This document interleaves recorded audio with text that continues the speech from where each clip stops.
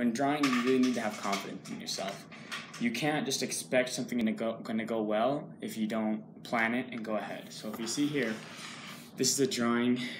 Uh, this is a picture that I'm drawing. Um, we are going to be doing the basketball.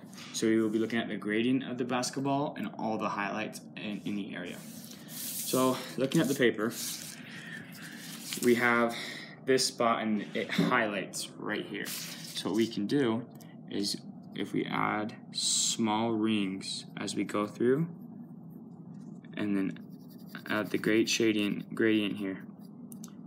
The more highlight you have and the more you get to look realistic, the more ball the more the ball is going to be together and the more it's going to connect. And so as you can see, I'm going very slow. I'm not rushing. I'm not you really want to take your time.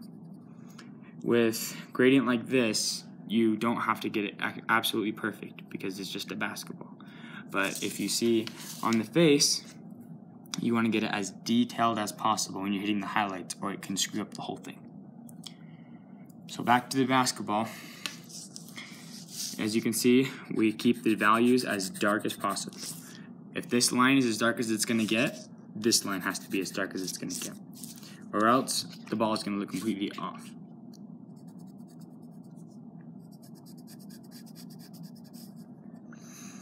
And with this kind of gradient, you can always either, one, keep your pencil completely sharp, which is probably the best idea, or if you keep it at a slight angle, it'll be easier to make circles, and it'll be able, you can be able to put those highlights in.